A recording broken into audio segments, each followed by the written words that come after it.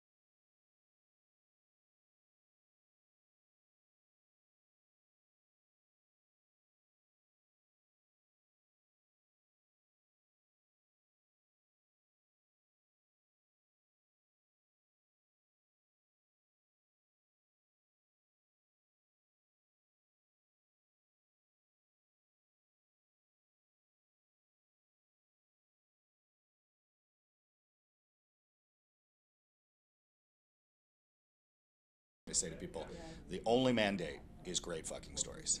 That's it. We're not here trying to cure cancer, change the world, promote any specific agenda. We are in this business to tell great stories, find great stories, work with great people to tell great stories. And that's really about the sum total of it. Um, and to date, we've had a great time doing it. It's been really uh, exciting, challenging. We've worked with absolutely incredible filmmakers Morgan Neville, Matt Tyrnauer, uh, Daniel Minahan now. Uh, incredible producers, Mollye Asher, uh, for you know, for example, Peter Spears, just really, really remarkable, exciting, dynamic people who are are similar to us. You know, they like to work hard, get the work done well, and have a good time doing it. That's so awesome. Yeah. So I, you're talking about how you know what you like when you when you see it, and you and you what- are specifically here to tell great fucking stories. Um, but what is it that you're looking for when you when you are pursuing a project or when you're trying to develop something? Yeah, that's a good question. The the big motivator for us, whether it's a documentary on sports fans, you know, we have a beautiful film about the Philadelphia Eagles fans the year they won their first ever Super Bowl. Oh, fun. Um, and that's, that feels light years away from On Swift Horses, you know, a 1950s uh, romantic drama um, set in, in the middle of the country. And it's um, the thing that, that's the same about those things is that they're deeply human stories. You know, Jen and I, whether it's Scotty and the Secret History of Hollywood or Roy Cohn or the doc on Fred Rogers, we resonate with characters who are deeply connected to what it means to be human empathetic loving mm-hmm. complicated difficult you know all of those adjectives that make up what it means to be human. And, it, and it's part of what drew us to on swift horses. You know it's a complex story. It's a nuanced story. It's a it's somewhat thorny. There's some difficult you know sections of it. There's a you know Will Poulter's character is kind of left high and dry, devastated, and it's always heartbreaking to me, you know, because it's, it's such a he's such a, a wonderful person, and, and you know to see him see what happens to him is sort of uh, you know challenging, but but it's very much a part of what it means to be human, right? Heartbreak is part of the human story, and so we we look for whether it's documentaries or narratives, we look for stories that are really about the the, the uh, process of being a human being, the experience of being a human being. Great. And talk about your own personal career with Wavelength. You've been Yeah. there for a little bit now, and I think you've worked your way up. Yeah. Yeah, yeah. So yeah, talk about that. Well, I started producing with Jen when when Jen and I first threw in together. I was producing a documentary um, about her family. Uh, it was called Let Me Be Me. It was uh, d- uh, acquired and distributed by Greenwich. Uh, it took about seven years to make that film. Really, really beautiful, but again, nuanced, very human story about Jen's own family. And in the process of, of producing that and putting that together, we took on a number of other films and started to produce those as well. Uh, and Jen is a very accomplished producer in her own right. Uh, and what we found was that while we were investing in a number of projects, what the film teams really needed was that kind of producerial support. They needed to, to have the the support around them that could help them think about distribution and think about festival strategy and, and quite frankly figure out how to get the film actually made so that it could get into Sundance or South by or whatever you know targeted festival they wanted to go to. And so we we started to dig in on a lot of projects in that way. And it was clear to us that that was something that we were good at and that we could really help these film teams with. Um, and we have a great track record of, of doing that, and we enjoy doing it, and we're still doing it now.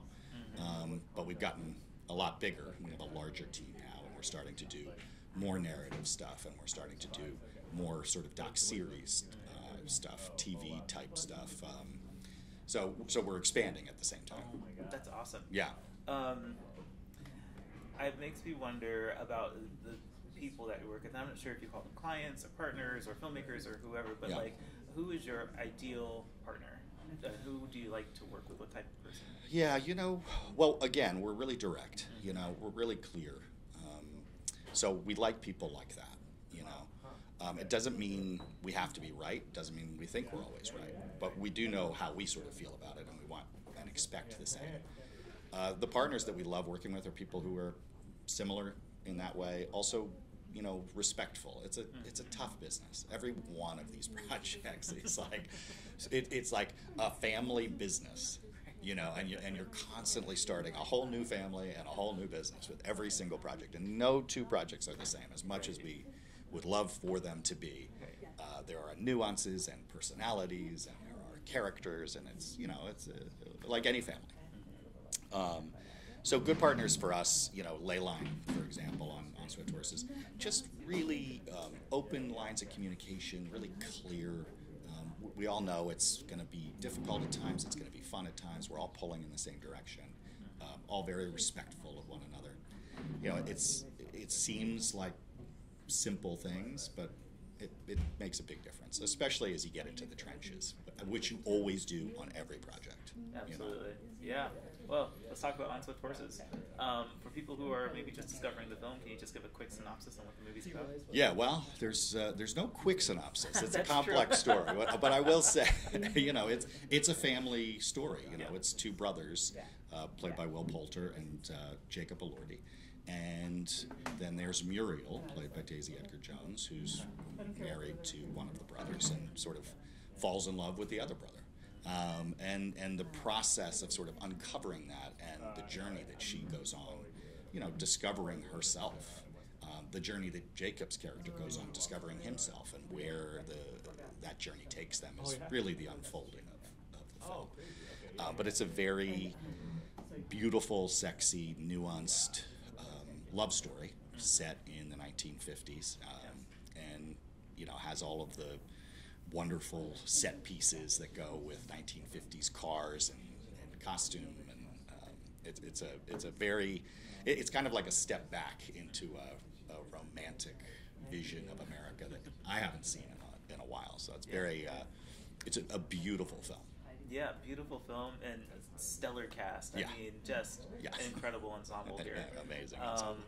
uh, uh, Diego Calva, uh, Calva is also part of it. Yep. You know, he has, Yep. he has a, a pretty significant role. Um, and so, uh, I guess when it comes to being a producer, um, I think what I've learned is that there's a lot of different ways to Yeah. So I guess I want to know more about how specifically you guys worked and Totally. what your relationship was with um, with the development and production of Swift Horses. Yeah, so we came in as financiers alongside Leyline and First Gen. Our goal as a company is to start to ladder up on the narrative side. So we brought in a scripted exec, uh, Caitlin Cleary, who came to us from Imagine, and she's really helping us to build out that slate. And what we found on the doc side when we first started with docs was find the people who are the best at doing it and work with those people. So we started working with Morgan Neville. We started working with Matt Tyrnauer. You know, these these really um, fantastic and talented uh, and kind filmmakers. and so we did the same thing here. We went out we had met with uh, Teresa Page and the team from Leyline, and we're like, these these are the best in the business. We we really really respect and admire them, their work ethic, their taste, their you know their their sense of story and how to work with others. And so we threw in with them on this at First Gen as well. Uh, again, Michael D'Alto and his team, phenomenal team of people, and um, our role was very much sort of to uh, you know allow them to do what they do and to be additive and helpful when we could, whether that was you know reading the script and giving notes on the script or looking at cuts and giving notes on the cuts, things like that. Um, but really, for us, it was an opportunity to kind of watch how they put it all together and really learn. And Jen and I always say, like, never be in a position where you're not learning something new. I love that. I love it. Um, being it's so interesting because uh, on Swift Horses, a major component of the plot is uh, betting. Yeah. gambling, yeah, right? yeah, a yeah, yeah, that's- component that that's um, right. A number of, uh, that a couple of the characters um, uh, kind of either dabble in or or struggle Yeah. with. Um, and so there's a line in the film. It says a real gambler's solemn obligation is to be well informed. That's right. I'm really interested in what your take is on that line in relationship to filmmaking. Well, I mean, it's uh, you know, there's an aspect of all filmmaking that is gambling, Right. right? Um, we want to go through all of the metrics. We want to go through all the spreadsheets. We want to look at the demographics. We want to understand exactly how much of this we can control. But at the end of the day, we can control very, very little of it. Right. So being being well informed is the one thing you can control, right? And for Jen and I, we're we're big on pre-production. We're big on pre pre pre production. You know, uh, for us, it's like we, we have to read the script, and if it doesn't make me come out of my seat, it's not something we're going to do. Um, same thing for Jen. You know, you have you have to start with that sort of gut reaction. This is a this is a great fucking story. Or we want to tell this story. Um, and then from there, really understanding in, in as much as you possibly can the world of the story and the cast of this. How are we going to cast it? How are we going to put it together? And what does distribution look like? And you know, all of these films take years to put together. So the landscape is shifting constantly. By the time the movie's released, the landscape's completely different than when you started it, right? Um, but it, staying informed um, and, and doing everything you can to educate yourself and understand as much as you possibly can is about the only thing you can control for. Yeah, absolutely. I just thought that, that was an interesting idea in the film, and uh, and I think filmmaking very much parallels that in, uh, Yeah. in a lot of ways. Uh, so, what do we, what do we, um, what do you think is the significance of this film, or maybe what does it mean to you for this film Hmm. to be premiering here at Yeah. the Toronto International Film Festival? I love this film festival. I, I find this film festival to be one of the greatest litmus tests of whether a film works or not. The audiences are very honest here, they're very authentic. Um, I think that it's, um, it's, it's a real privilege to be able to, to premiere this here.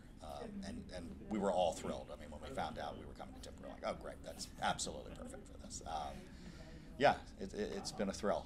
That's awesome. Really happy to hear that. What's um? Do we have any word on what the future is for this film? Where where we might you know, there's there's all sorts of conversations happening. I hope that those conversations continue. Um, my my hope is that it is seen on the biggest screen possible. I will say, like, I, I always love the premiere when you finally see the color corrected version of the film, and they just it was so beautifully shot, and every element of it is just so lush and gorgeous. And I just really hope that it has the opportunity um, to be out in the world in that way because it's it's a stunningly beautiful film. It is. It absolutely is. Yeah. And what about Wavelength? What uh, what projects do you do you guys have in the works that, that we can look forward to? Yeah, we have some really, really cool stuff. We have a, a really fun uh, documentary that we're doing in the K-pop space that uh, there may be some news about uh, soon, and we've got some. Uh, well, we've got a bunch of narrative projects in development, um, which we're we're very excited about as well. So just really focusing on all of that stuff and pushing those all downfield now that we've gotten this one out the door. That's incredible. Yeah. Well, Joe, I really appreciate you taking the time to chat with me about Totally. Wavelength and the film on Swift Horses, and really wishing you and, and uh, Wavelength and the film the best of luck going forward. Awesome. Thanks so much.